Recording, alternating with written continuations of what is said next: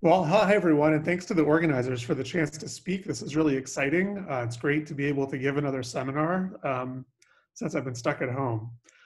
So as is uh, typically the kind of thing that I do, I changed the talk at the last minute. So sorry if you were hoping to hear exactly what I said I was gonna talk about. The talk I'm gonna give you today is basically split into two parts. So the first is more like a review because I thought the system we work on, uh, the cyanobacterial clock, I find quite fascinating, and I think others may find it fascinating too, and you may not know about it. So I first want to tell you some of the highlights of what's been learned about that system. And then the second half of the talk, I want to tell you about some very recent findings from our lab. And I think in the spirit of this seminar, these are uh, findings that I find quite exciting, but we don't really know what they mean. Um, so this is kind of the, the, the leading edge of what we understand. Okay. Uh, let me see if I can make this work. All right, so here's an introduction to circadian rhythms. So I think that everyone sort of feels that this field was started um, by this French guy, de Mairan, who you know, everyone knew that many plants change their morphology uh, between day and night. So like a mimosa will have its leaves open during the day and then at night, those leaves will close when it no longer needs to photosynthesize. And what de did was an experiment putting that plant into an enclosed constant environment where there was a low light all the time. And what he discovered was that that opening and closing of leaves is not actually caused by the light and dark. It's an endogenous rhythm inside the plant that just follows the day and night cycle. So the leaves keep opening and closing even though the environment's not changing.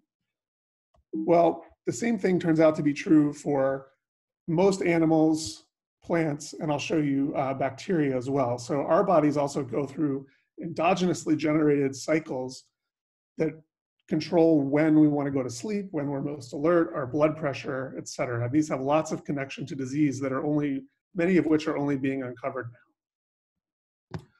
Okay, so these so-called circadian rhythms, what are their properties? Well, they're free running. That's the first thing, that they're supposed to run even if the environment is not changing. They all have this, this property called temperature compensation, which is to say the period is not supposed to change very much if the temperature increases, which you can understand uh, in the sense that if it's warmer or colder, time still runs at the same rate. So you should still take about a day to go through the cycle. And while these cycles can free run, they're supposed to be able to entrain or synchronize or phase lock, you could say, to the external light dark cycle caused by the rotation of the Earth. Okay, so um, so the system I, have become quite fascinated by is really the simplest example of a system, uh, a circadian rhythm system, and it comes from bacteria. It comes from this photosynthetic bacteria called Synechococcus elongatus. That's what's most has mostly been studied. And I'll show you a movie. Uh, this is cells growing in a constant environment with a yellow fluorescent protein expressed from a clock promoter. So you can see that even though they're doubling uh, faster than a day, they and the environment is not changing, they have this daily expression, daily rhythm and expression of this protein. Now, um, these four people are in some ways some of the key founders of the field. I put them on this slide. Uh, and they took a bacterial genetics approach to identify the genes responsible for this rhythm. And there turned out to be quite a simple answer. So this is this experimental apparatus they built. And they tracked mutations that got rid of the rhythm to these three genes that they named KaiA, Chi B, and KaiC, which had never really been described before uh, but they're found throughout cyanobacteria and in other bacteria. And um, if you're curious, the word kai, though I don't speak Japanese, um, here's the kanji character for it, and it's essentially the word for cycle. So these are the cycle genes. That's where the name comes from. And if you delete those genes, you lose the rhythms I was just showing you in the bacteria. But I think what's what really has captured many people's imagination, it turns out if you take the protein products of these genes, so purified KaiABC proteins, and you mix them in a test tube, uh, what you see is there's a free running rhythm in the phosphorylation of this protein called KaiC. So that's what these upper bands show on a gel. Here, every lane is sampled, each lane is sampled every two hours. And if you plot this, what you see is a nearly 24 hour self-sustaining oscillation in phosphorylation. So somehow these proteins can work together to give you a stable uh, cycle that takes about a day. And that's essentially um, well, that's kind of the magic of this purified protein system. So I mentioned there were these three conditions for um, something to be a real circadian rhythm. One is it's supposed to be free running, which you can see this protein mixture is. Actually, it can go on for at least a couple weeks um, on its own. Um, the second was temperature compensation. So that turns out to be true as well. So here's a really nice paper showing that. You can basically see as you change the temperature, the amplitude of this protein oscillator changes. It decreases as the temperature falls, but the period is nearly unchanged. Okay, so that, and that's still quite mysterious how that works, but that's the second criteria. So the period is not really changing with temperature. And the third criteria is that it's supposed to be entrainable to light dark cycles. Well, these proteins don't sense light themselves, but one of the major themes my lab has been working on is that this oscillator is intimately connected to metabolism. That's because in a photosynthetic organism, uh, light is intimately related to the production of energy and reducing equivalents in the cell. And I'll show you later that the clock then feeds back onto metabolism. But um, so here's a sample of that kind of work. So it turns out when you put these cyanobacteria into the dark, the ratio between ATP and ADP, so a measure of the, of the available biochemical energy, falls. So there's, a, there's much more ATP than ADP in the light, and then ATP levels fall in the dark, and ADP comes up. And if you recapitulate those kind of cycles in this test tube reaction, switching from high ATP ADP ratio to low, you can synchronize the phosphorylation rhythm to this driving force. So indeed, uh, this oscillator will synchronize to a day-night cycle if the day-night cycle is mimicked by metabolites. So really this protein, system, so this is, I think, quite remarkable that these three purified proteins, this mixture, satisfy all of these criteria, temperature compensation, entrainability, free running with a period about 24 hours. And so the mechanism underlying all these things is in some ways really still not understood but it's a remarkable system. Okay, so um, I just argued that these metabolic rhythms entrain the clock, right? You can cycle ATP ADP ratio and that entrains the oscillator. What turns out to be true in the cell is that the, the, the state of the clock then alters metabolism. So it's really deeply embedded in a, in a feedback loop. And I'll just show you a little bit of data about that. So when the environment cycles between day and night, cells store up glycogen. So they can't do photosynthesis at night. So during the day, they store up glycogen and then they burn that glycogen in the night to support whatever meta metabolic needs they have. But just like the mimosa leaves opening and closing, this cycle of glycogen storage and consumption is not actually caused by the light and dark. It happens even if the environment is constant. So the clock dictates a time to store glycogen and a time to burn glycogen. So that's an example of metabolism being controlled by the clock. Um, and then here are a pair of papers that are quite nice. I won't go into in great, great detail, but they basically show when you, when you have a, a defect in clock-driven gene expression, cells have trouble tolerating light-dark cycles. You can see uh, wild-type cells grow well, and the clock cells fail to grow. And that's essentially linked to a metabolic defect. That's the message of this slide. And in particular, that defect can be rescued. Here's a paper from uh, Anna Puszynska from Erin O'Shea's lab by activating metabolic pathways that are not normally on uh, at the that are not normally on in the morning. You can fix the defect uh, in these clock mutant cells in light dark cycles. So the, the point of all this is to say that the clock and metabolism are intimately connected to each other. Another way to fix this viability uh, defect, this is a paper from Susan Golden's lab, is to make mutations that impair amino acid biosynthesis. So if you shut off production of this valine, leucine, isoleucine pathway, that also helps these clock mutants survive in the dark.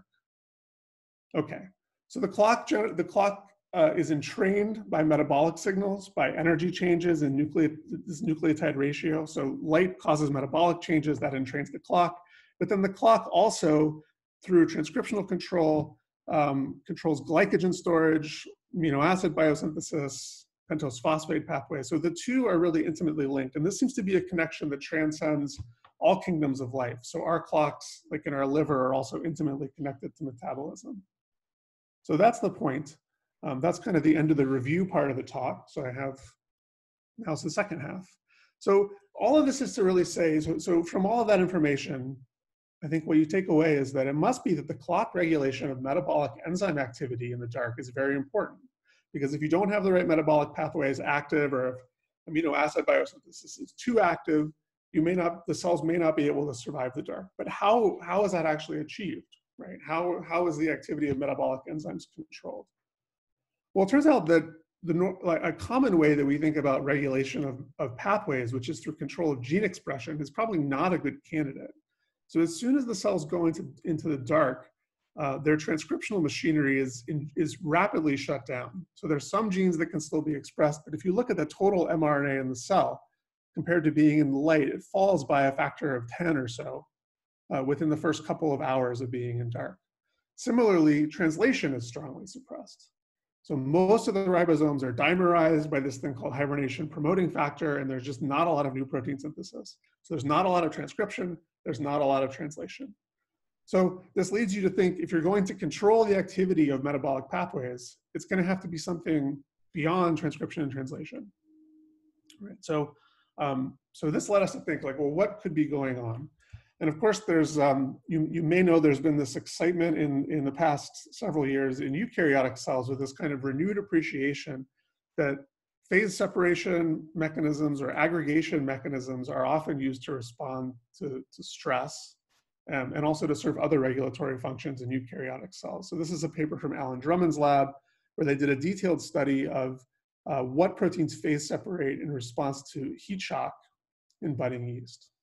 Okay, so rather than just thinking about all the proteins in the cell within a compartment as uniformly mixed, it turns out under some conditions you can have these dynamic condensates form.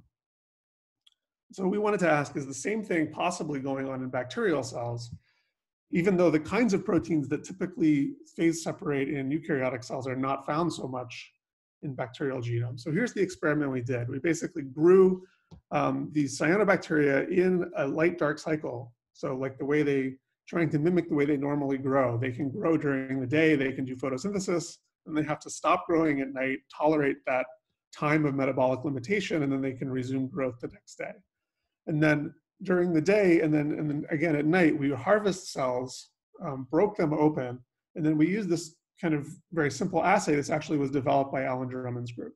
So we use an ultracentrifuge. So we spin this, the super, we spin the lysate at high speed, so things that are bigger than about a megadalton will pellet in the ultracentrifuge. So you get a pellet of protein and other stuff at the bottom, and then you get this soluble protein. And you can use this kind of crude fractionation to basically take the soluble stuff and the insoluble stuff and then shoot it on a mass spec and ask what's there.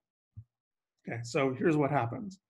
So based, so here we're calling the percent soluble, how much of each protein in the proteome we see in the supernatant versus in the pellet. Uh, and so in general, you, you, when you do this experiment, you get scatter plots that look kind of like this. So there's a, there's a scatter plot so that being more soluble in the day is generally correlated with being more soluble at night, but there's this kind of tail that hangs down where you have some proteins that are very soluble during the day, and then at night, um, they, be, they, they mostly go into the pellet. And so what are some examples of what you see in this tail? Where here's KaiC, actually, the circadian clock enzyme. And that actually was known from other experiments people had done, not proteome-wide experiments, but you see all the clock components in there. Um, you also see a lot of proteases. You see enzymes involved in DNA repair. You see all of the GGDEF domain proteins, which I won't comment on because I don't really know what the story is. These are diguanylate cyclases, if there's any, any aficionados out there. Um, but what I'm going to focus on mostly for the rest of what I'm going to tell you is you see a lot of enzymes in amino acid biosynthesis pathways. So like this METX protein, for example, uh, an AST. So actually, if you if you color code um, kind of diagram of central metabolism with the proteins that you find in this little yellow box, which is how we tried to capture this tail. Oops, try that again you do see um, many enzymes that are here, like in the in, in these are biosynthetic pathways that are producing aspartate, lysine, threonine, right? So you see many enzymes that are basically taking material out of glycolysis and out of the TCA pathway to make amino acids. Okay. So um, we wanted to know more of what was going on, so we tried to then take some of these proteins and tag them with uh, YFP, and then make live cell movies. So um, hopefully you'll be able to see these. Here is, uh, here's a movie with METX fused to YFP. So this is the, basically the first committed step in making methionine. You can see during the day, um, it's you see uniform fluorescence, and then at night you see these spots appear. And then there, that was that that whole movie was about um, 60 hours long. We'll just play it again. So uniform fluorescence, the lights go out, you see spots appear, the lights come back on, the spots go away, and then you can go through another cycle. Um, here's another movie. So there's aspartate semialdehyde, um, aspartate semialdehyde dehydrogenase. Similarly, uniform during the day, and then you see spots at night. And I want to, and so here's quantification. Each of these lines is single cells, basically the number of spots detected. Um, and the top line is total fluorescence. I don't want to, I don't want to lull you into um, boredom with too many movies, but uh, here's another one, tyrosine phosphatase, similar kind of story. You can see it's kind of like, you know, different kinetics or maybe of these different proteins. You see like different, maybe more or less spots. This one's kind of interesting, the prolyl 4-hydroxylase. You actually see two waves of spots at night. So you see like an initial wave and then a later wave. So that's kind of something exciting going on there that we don't totally understand. So you can see here in the quantification, you see an initial wave goes away and then another wave comes back later in the night. Okay, so that's kind of the phenomenon. And then we wanted to know, well, like what is going on? So one possibility is maybe these proteins are um, somehow in the night, they're kind of like misfolding and aggregating and they basically become some kind of trash that the cell has to get rid of. Um, but we don't think that's true. So we think these proteins are ultimately not degraded. We think they're ultimately reused the next day. They returned, they're returned to the soluble pool of proteins. So I'll try to show you data for that. So here's sort of film strips and you can ask, um, what is the total fluorescence intensity in the, in the cytosol? And then what is the total fluorescence intensity in the, these spots? So this is just trying to quantify the images. And in general, what you see is as the spot intensity goes up, the background fluorescence is going down, right? So that's like proteins going from soluble to the spots. But then when the lights come back on, the spots go away. And that's correlated with the background coming back up, which suggests that the, the YFP that was in the spots goes back into the cytosol. It's not chewed up by proteases. It's not like the fluorescence is decreasing. So that's kind of a correlational argument. We wanted to do something a little more um, rigorous. So what we did was we tried to label isotopically the old protein, or sorry, the new protein. So before we turned the lights on, um, we added a heavy leucine uh, label. Actually, was a pain to get the cells to take, figure out which amino acid they would actually take up effectively. But anyway, before the lights come back on, we give them a lot of this uh, isotopically labeled leucine so that new, new polypeptides that are synthesized with this leucine will be distinguishable in mass spec because they have this 13 carbon, six carbon 13 atoms. Um, and what you see essentially is that if you compare the whole proteome, so note this is on a log scale. So most proteins, whether they're in this like dark demixing, we call these proteins that switch between soluble and insoluble, whether they're in that pool in the red or the whole proteome, most proteins are really not incorporating much of this label at all, implying that they're like stable proteins. The proteins you see in the soluble fraction are old. Most of them are old from the previous day.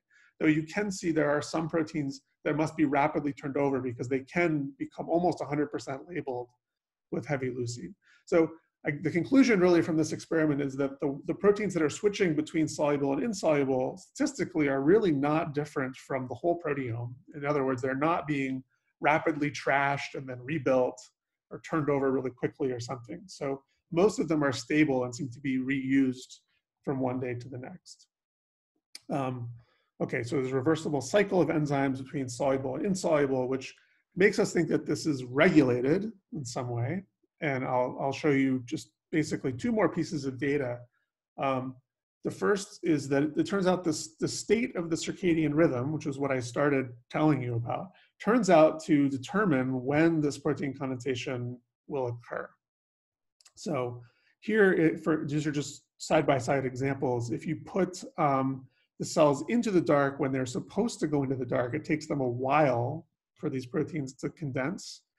Uh, so here after an hour for METX, you don't see anything, but if you put the cells in the dark at the wrong time, it happens very rapidly.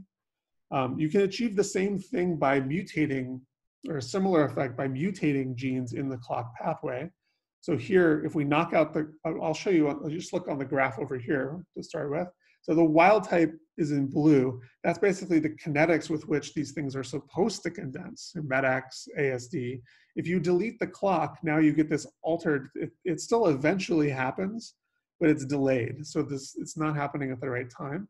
And if you delete these genes SASA and CikA, which also screw up the clock's output signaling, you either get that these things form really quickly or if you delete CikA, they don't form at all. So you go through the whole night and you're still soluble. So somehow the clock is exerting an influence that we don't understand over um, this you know, separation between soluble and insoluble. Here's just a movie to show that. This is uh, shows very rapidly when SASA is deleted, you get spot these METX spots, foci form like within an hour. That's rapid in our world. Okay, so um, so what's happening to these proteins in the night, right? Like, why is this happening? Um, I, some possibilities. It, what, here are a few possibilities. We don't really know the answer. I'm throwing these out here to sort of provoke discussion or your some insight from someone in the audience. So maybe ATP depletion in the dark is leading to decreased disaggregase activity. So there are enzymes that are supposed to prevent, like ClpB, which is HSP104 in eukaryotes, supposed to prevent proteins from inappropriately aggregating and uses ATP to pull them out of aggregates. So it's possible that these that enzyme system shuts down in the dark. It's also possible for these the most of or a lot of the proteins that we're seeing are enzymes that themselves act on substrates, and those substrates might become depleted in the dark. So like um, METX is supposed to act on a substrate to, that's then going to go into the biosynthesis of a thionine. If that substrate is not present, maybe that destabilizes the enzyme and it somehow aggregates. Or could there be dark dependent pH changes in the cell that are responsible? We don't really know, but um, we do know that it from do, from exploring some possibilities, it seems like really the energetic status of the cell, not directly some kind of signaling about light and dark, really is the critical determinant. And the reason we say that is the following set of experiments. So we can interrupt um, ATP biosynthesis using things like uncouplers. So DNP dinitrophenol is an uncoupler that allows protons to just cross the cell membrane. So it dissipates the proton gradient across the, the membrane of the bacterial cell if you add DNP, regardless of the pH of the media, you cause, at least for the, the proteins we tested, cause, we, you cause them to form these sort of insoluble spots. And there are other ways you can do this too. You can directly uh, target ATP synthase. That also will cause this to happen. Uh, but maybe more importantly, you can make genetic perturbations to uh, glycogen uh, metabolism. So glycogen is the primary source of energy in the dark. If you interrupt glycogen breakdown, that also causes these uh, fluorescent spots to form more quickly. And um, you can. Sorry to jump in, Mike, but you yes. have just one minute left. okay, that's good. That's perfect. Thank you. Um, yeah, might, if there was a chat message, I might not have seen it. Sorry about that. Okay, and and then finally, you can do the, the reverse kind of experiment. So it turns out you can you can get these cells to take up sugar to give them an alternative source of metabolism by basically giving them a sugar transporter from this is an E. coli sugar transporter. You can express it that will get these cyanobacteria to take up glucose and sort of bolster their metabolism, and that will also prevent um, these enzymes from condensing into spots. So it's it's somehow telling you about the metabolic status of the cell, and maybe that's really what's being programmed by the clock uh, is a kind of metabolic change during the night. So um, so anyway, that's that's phenomenology, and that's kind of the state of what we know. And um, but I think that the picture is kind of interesting. So sort of like uh, maybe not like a eukaryotic cell, but um, but you know, I guess it, it sort of um, reinforces this idea that maybe you should not think of a bacterial cell as just being a, a well mixed bag of soluble components, uh, because we now know from this and other examples. In the natural kind of conditions, I mean, I shouldn't say natural, but in realistic kind of conditions where you're cycling between day and night, you have uh, these reversible cycles of, of parts of the proteome going from being well mixed throughout the cell to condensing into some kind of structures that can then be pulled apart again the next day. And so things we don't know, are there actually many distinct aggregates or are some of these proteins all aggregating together? Are the enzymes active when they're in the aggregates? We still, we've, we've been trying to answer that question, we still don't know. Um, and do these actually, similar to the eukaryotic stories, do they contain RNA or is it really just protein? We don't find a lot of RNA binding proteins, um, but that's, that's a question. Okay, um, and then what is the molecular mechanism? So in the, in the spirit of just trying to be totally upfront about our ignorance, um, this, this is all we don't know. Okay, um, and so I really want to um, acknowledge Paul Patnaik, who's a staff scientist in my lab who really led this project and got interested in these questions. Uh, and this whole thing was a really nice collaboration between him and a postdoc, Yi Lao. He's uh, really an expert in doing microscopy um, and, and made all the movies that I showed you. And so with that, I'll just list all the people in my lab and um, these funding sources that have made it possible for us to uh, try, try weird experiments. So I'll stop there and um, happy to answer any questions.